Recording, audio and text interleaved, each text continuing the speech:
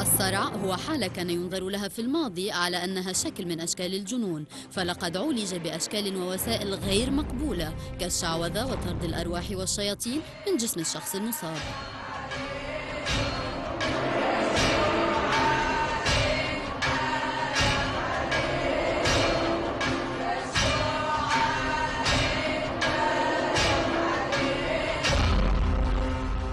تقدم العلم توصل العلماء إلى معرفة مرض الصرع على أساس علمي وعرفوه على أنه اعتلال في الدماغ أو المخ يحدث خلل في خلايا الدماغ مما يتسبب في خلل لوظيفتها فقد تكون على شكل خلل سلوكي أو اضطراب نفسي أو فقدان للوعي أو تشنجات عضلية.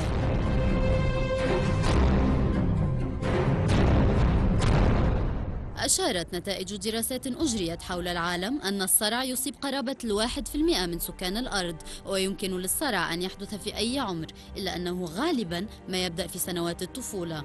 والجدير بالذكر أن نوبات الصرع تكون مؤقتة لفترة زمنية محدودة غالبا ثواني أو دقائق معدودة.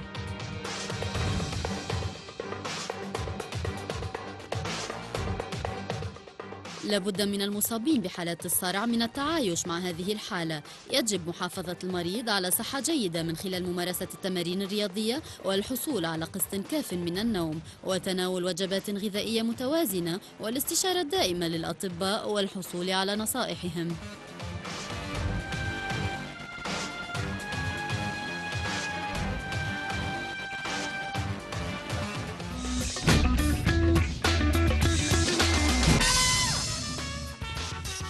مشاهدينا لمناقشة هذا الموضوع عن تأثير الصرع على المصاب والمجتمع. ناقشه مع ضيفتي بالاستوديو الدكتورة فوزية بمقدم استشارية طب المخ والأعصاب والصرع واضطرابات النوم بمدينة الملك فهد الطبية. ومساء الخير دكتورة فوزية. مساء النور يا هلا. دكتورة يمكن إحنا شفنا في التقرير آه، عن الصرع لكن اليوم إحنا حنتكلم عن معاناة المريض في المجتمع. بداية دكتورة أنتم كأطباء آه، كيف تشوفون معاناة مريض الصرع عندنا في المجتمع؟ آه، بسم الله الرحمن الرحيم. هي مشكلتنا الحقيقية مو في الصرع نفسه هو مشكلتنا في معاناة المصاب بالصرع مع المجتمع. مم. آه، المجتمع لسه إلى الآن مو ما يتقبل هالمصاب بالصرع. كثير من الناس سواء خلينا نقسمها لقسمين من المصاب وعيلته اللي حواليه ومن المجتمع الخارجي. فالمصاب بالصرع ممكن هو بنفسه يستحي من إصابته فبالتالي يتخ- يتخبى دائما يخبي نفسه ما يظهر للمجتمع. ما يحاول يشارك في المجتمع سواء كان في المدرسة أو في الجامعة أو في العمل حتى. الأهل اللي حواليهم بعض الأهل يكونوا حذرين من حذر ما نبغى نقول يعني هو من حذر. يكونوا حذرين إنهم هم يعني يحموا بزيادة هالمصاب. يعني ممكن يعزلونه؟ يعزلوا أيوه. مم. يحموه بزيادة فبالتالي يعزلوه عن المجتمع يمكن من غير قصد. وهذا طبعا غلط تماما. وبعدين نجي على المجتمع الخارجي اللي هو ما يعرف شيء عن الصرع. ما يعرف غير ال- الصرع ممكن يكون مرض جن أو مسم العين. أو مرض عقلي أو آه، مرض معدي فبالتالي يتهرب ويتجنب إنه يحتك بالمصاب مع الصرع. والمعاناة الأخرى للمصاب بالصرع هو كيف يتعاملوا معه يا إما يتعاملوا معاه بإنه يقطعوا العلاقة تماما يا إما يتعاملوا معاه بخوف شديد. ما يقربوا منه ما ياكلوا معاه ما يطلعوا معاه. فهذه المعاناة الكبيرة اللي بيعانيها سواء من بيئته الصغيرة أو من المجتمع الكبير. نعم. دكتورة يمكن في آه، يمكن يقرب من مشاهدينا بعض القصص للأسف مأساوية وفي بعضها تروح للأسف أنه المريض الصرع تنتهي حياته بسبب الإهمال اللي موجود أو جهل في التعامل مع هذا المريض. من ضمن القصص حتى أنتم قمتوا بحملة في الفترة الأخيرة. إيش كانت قصة الفتاة أو الشاب؟ هي فتاة ولا شاب؟ فتاة. الفتاة اللي ماتت بالصرع أيوه هذه بداية الحملة الحقيقة كانت. في 2000 بدايتنا كانت في 2007 2008 آه هي بنت عمرها 14 سنة. جالها حمى شوكية. ونعرف إحنا من مضاعفات الحمى الشوكية ممكن يجي عند الإنسان صرع. فجتها نوبات صرع بسبب تأثير الحمى الشوكية على الدماغ. أخذت العلاج وصارت كويسة ومستقرة بعد فترة. ودائما كل مرة تيجي نقول لازم العلاج بانتظام ولازم النوم المبكر عشان ما تجيها النوبات استقرت تماما. في مرة طلعوا في عيد الحج هي وأهلها إلى مخيمات. ونسيت العلاج. قعدوا حوالي خمسة أيام برا. لما رجعت في ذاك اليوم صارت تتشنج للأسف إنه أنا متكلمة مع الأهل ومع ال- الأخوات وال... إنه هذا صرع طبي هو عرض طبي بسبب زيادة الكهرباء. فلازم من العلاج. قعدوا خلوها تتشنج. وافتكروا إنه هو جن طبعا وقعدوا يقروا قرآن عليها من غير ما ياخذوها المستشفى. والأهل متعلمين دكتورة؟ متعلمين وجامعيات. البنات الأخوات كلهم جامعيات. مم. إلى أن جاء الصباح وماتت البنت. فكانت هذه واحدة من الحالات المأساوية اللي فعلا أثرت علينا كفريق صرع كامل. إنه لهالدرجة يعني وصلنا. إنه ممكن الواحد كان ممكن يجيبها على الإسعاف وتاخذ العلاج وتقرأ القرآن. فيه شفاء للناس. بالعكس إحنا ننصح بالقرآن وبالرقيه بس كمان ننصح بالعلاج لأنه في الأخير الواحد يأخذ بالأسباب. والشفاء كله بعد كده من عند رب العباد. ولكن لازم نأخذ بالأسباب. فهذه واحدة من الحالات المأساوية واحدة. لكن في غيرها كمان كثير اللي في عندنا شاب هو بنفسه رفض العلاج. لما جاء وعنده صرع جزئي مو الصرع العام اللي الناس تعرفه اللي يطيح ويغمى عليه ويزبد لا هذا يلعثم في الكلام يقعد يسوي حركات فمه وتكرار بلع وبعدين يصير صاحي كلها دقيقة. مم. فلما قلنا له إنه صرع رفض ياخذ العلاج وقال أنا ما عندي شيء لا تشنجات ولا صرع. يمكن ست شهور غاب عني ورجع وهو على كرسي متحرك. بسبب. صار عليه حادث في السيارة وهو راجع من آه، ثمامة وكان سايق بسرعة وللأسف صار عليه شلل نصفي. وبالت... وجاء بعدين عشان ياخذ العلاج. فهو الصرع ممكن يؤدي لعواقب وخيمه لكن في نفس الوقت ممكن يتعالج وبالأدوية مم- ممكن يسيطر عليه سيطرة تامة. ويعيش الإنسان طبيعي جدا. يعني ما ممكن تأشري بالإصبع إنه هذا الإنسان عنده صرع وهذا ما عنده صرع لأنه إنسان طبيعي زيه زي بقية الناس. كل المشكلة هي الدقيقتين اللي يجي فيها النوبة التشنجية بس. إنما غير عن كده هو طبيعي جدا يقدر يدرس ويتعلم. وعندنا ناس عندنا أطباء وعندنا متعلمين وعندنا ناس في يشتغلوا في مناصب كبيرة وعندها صرع. ومعروف أصلا التاريخ التاريخ نابليون بونابرت الإسكندر المقدوني الإسكندر الأكبر آه، بيتهوفن كثير روزفلت رئيس أمريكا السابق كلهم كان عندهم صرع. ومع ذلك زي ما أنت شايفة ناس مشهورين ومعروفين في التاريخ. فهذا لا يمنع بس لازم ي... لازم يتعالج ولازم مجتمعه الصغير يعمل له دعم. يعطي له الثقة بالنفس ويعطي له إنه أنت ما فيك شيء فعلا إنه مجرد خذ الدواء بس واسمع التعليمات الطبية كل الحياة تمشي من أحسن ما يكون. يمكن دكتورة فوزية أنتم كأطباء تقولون خذ الدواء لكن أكيد العامل يعني إحنا اليوم حتى حنتكلم ونتناقش آه، دور الأسرة دور المجتمع يمكن زي هذه الأمراض أمراض الصرع يبغى لها تعايش بالمعنى الأصح. آه، كيف أنتم تقدمون الدعم للأسرة؟ يعني أكيد آه، في تثقيف لازم يكون موجود. آه، كل الأسرة مريض الصرع بعض المرات تحسسونه ما نتركك بحالك نخاف يصير لك شيء في أي لحظة زي كذا. كيف أنتم تقدرون تأقلمون للأسرة أنه وجود مريض معاكم؟ هذا مرة مرة مهم هذا الكلام لأنه مهم جدا إنه الأسرة نفسها مم. المجتمع الصغير نتكلم عليه يفهم هل الصرع إيش معناته.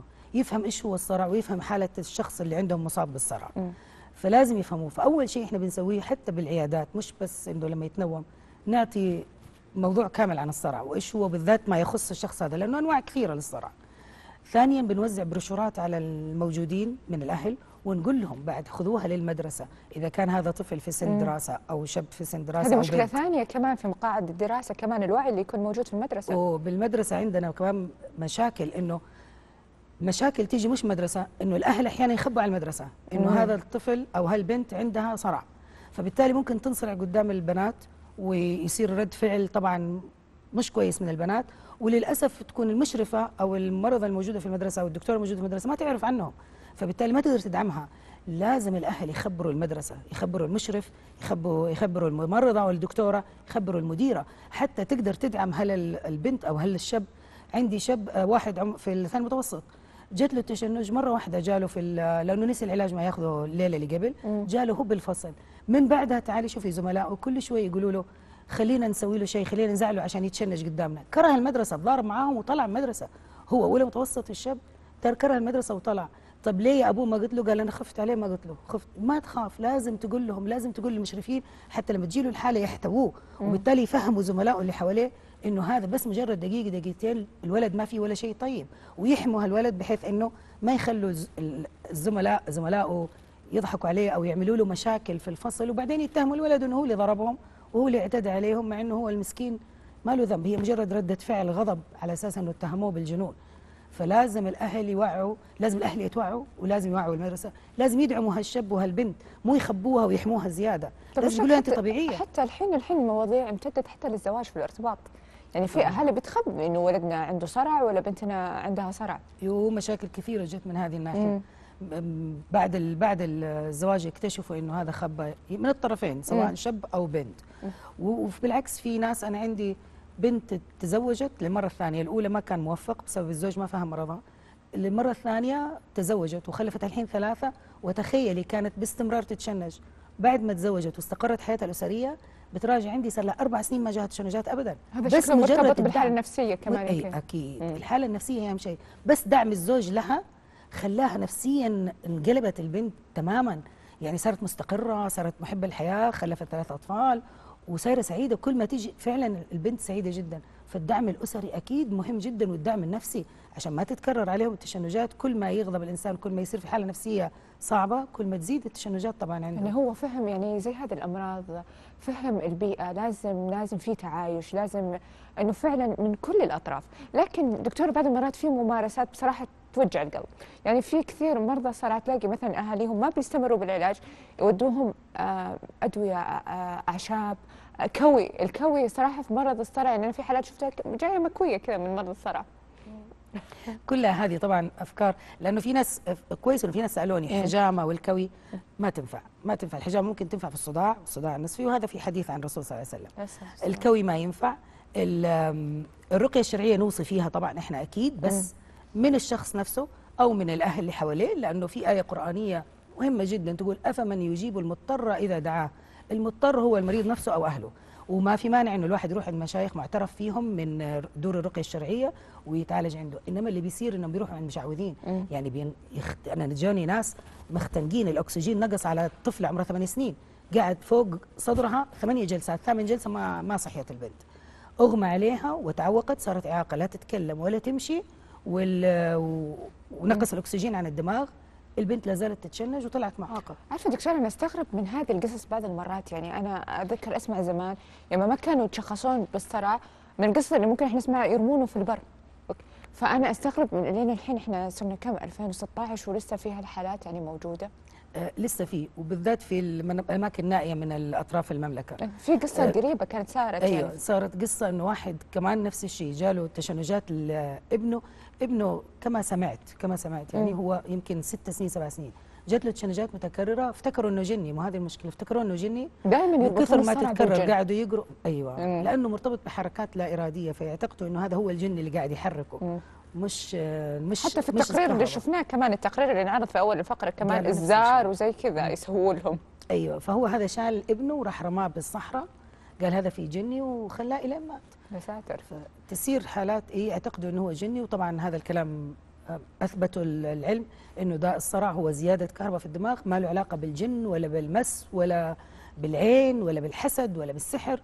هو داء لازم يتعالج ويتعالج أحيانا بدواء واحد. دواء واحد ممكن يوقف له التشنجات بإذن الله ويعيش حياة طبيعية ولا حالة واحدة بس ويصير زي كذا. ممكن يختنق ممكن يجي له إعاقة.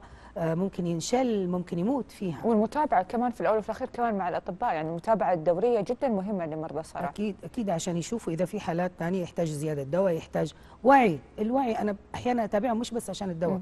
عشان أشوف كيف مسويين معاهم الأهل. كيف مسوي معاه مدرسته أو شغله أو عمله لأنه حتى العمل يعني جاييني الأسبوع اللي فات آه، رجل يشتغل في في أحد الدوائر يعني يقول أصحابي مع إنه أنا دحين لي سنة ما جاني تشنجات أصحابي يتفادوني. يتفادوا يطلعوا معي ولا نروح أروح معهم استراحة. يتفادونه ليش؟ عشان بعض المرات يعني من الأشياء إحنا نسمعها إحنا نخاف تتشنج علينا فجأة ما ندري وش نسوي فيك ممكن يكون فعلا دكتورة في طريقة خاطئة بدل ما تيجي أنت بتساعد مريض الصرع ممكن في مرضى بالطريقة خاطئة ممكن يموت المريض هذا صح مم. وهذه هي الطريقة اللي إحنا بنقول دائما انتبهوا لما يجي واحد عنده صرع إيش تسووا. لأنه اللي بيحصل إنهم يقولوا اللسان يتبلع اللسان ما يتبلع هذا الشائع اللسان ما يتبلع. اللسان عضلة زي بقية العضلات الواحد لما يغمى عليه يطيح تطيح عضلاته. لأنه يصير ارتخاء. فاللي بيصير ارتخاء في عضلة اللسان فتسد ال- الحنجرة لكن ما تتبلع فعشان كده إحنا نقول حطوه على جنبه عشان اللسان يطيح على. على هنا على الخد ما يتبلع. الإفرازات الزبد ولو سمح لا سمح الله استفراغ ما يرجع على الرئتين ويخنقوا فلازم يكون على الجنب حتى تطلع في جانب من جنب الفم آه، ممنوع يضربوا ويضرب ومدري إيش ويربط ولا يطلع الجني من هنا ويطلع من صباع الصغير ولا يطلع من عينه ما يعني هذا الكلام كله غلط مم. غلط. ما في اي أي ناحية علمية أي بحث علمي يقول هالكلام. لازم يحطوه على جنبه ما يربطوا ولا يرشوا موية إيه. ولا يحاول ولا يقولوا يبلع لسانه ما يبلع ولا يحاولوا يفتحوا فمه ويحطوا شيء بالفم. ليه؟ لأنه كثير آباء جونا والله يورونا عظمة الإصبع. اللي حاولوا يدخلون فيها فوطة أو شيء عشان ما يبلع لسانه. فالعظمة هنا باينة يعني صار الأب يصرخ والابن يصرخ من التشنج والأب يصرخ من الألم. فما يحاول يفتح فمه وممكن يكسر الفك حقه بعد وممكن يخلي كل الافرازات ترجع عرتين لأنه هو بيفتح فمه وهو نايم على ظهره مش نايم على جنبه. simple حاجة بسيطة جدا. انه بس تحطها على جنبه تفتح أي شيء مقفل حوالين رقبته لو في نظارات تبعده لو في شيء حار تبعده تحط مخدة soft ناعمة تحت راسه تسيبه يتشنج وقت التشنج حيروح. ما له علاقة مهما سوى مش حيقضي على وقت التشنج. هو دقيقة دقيقة ونص دقيقتين بالكثير وانتهى التشنج. بعد كذا يدخل في نوم عميق. لا تحاول تصحيه لا تحاول ترشه موية ويحطوا عطر وبصل ومدري إيش عشان يصحوه.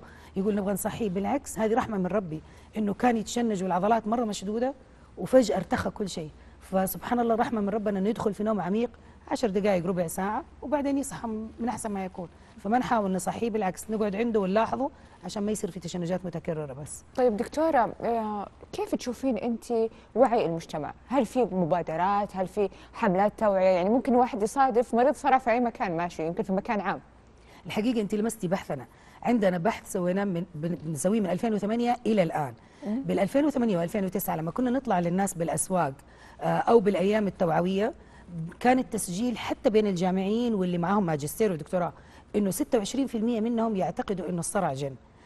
البحث العام لما ن- ال 2015 لسه 2016 ما درسناها 2015 نقصت إلى 15% فمعناته الحملات التوعية هذه جايبة ثمارها إنه الناس آه، صارت تتوعى.